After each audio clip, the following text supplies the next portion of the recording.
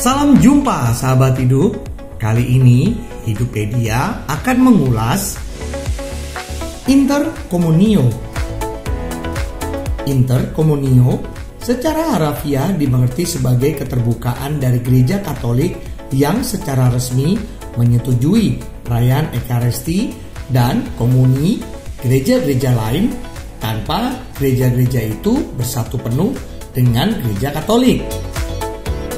Sejak abad pertama, kaum bid'ah yang memisahkan diri dari gereja tidak boleh ikut dalam perayaan suci. Sejak kemajuan gerakan ekumenisme pada abad 20, perjamuan suci diusahakan di antara gereja-gereja reformasi dengan saling mengakui sepenuhnya. Di gereja Katolik, orang Protestan boleh menerima komuni, jika dalam keadaan darurat dan ingin sendiri serta percaya akan sakramen Ekaristi. Orang Katolik memang tidak boleh menerima komuni dalam ibadah Protestan, namun boleh dalam perayaan Ekaristi di gereja Ortodoks.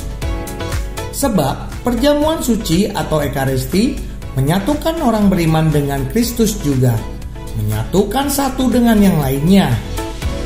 Karena Ekaristi adalah sumber dan pusat gereja dan umat beriman. Informasi ini diambil dari rubrik Katekismus Majalah Hidup edisi 32. Dapatkan segera Majalah Hidup dan E-Hidup edisi terbaru. Sampai jumpa di episode berikutnya di program Hiduppedia.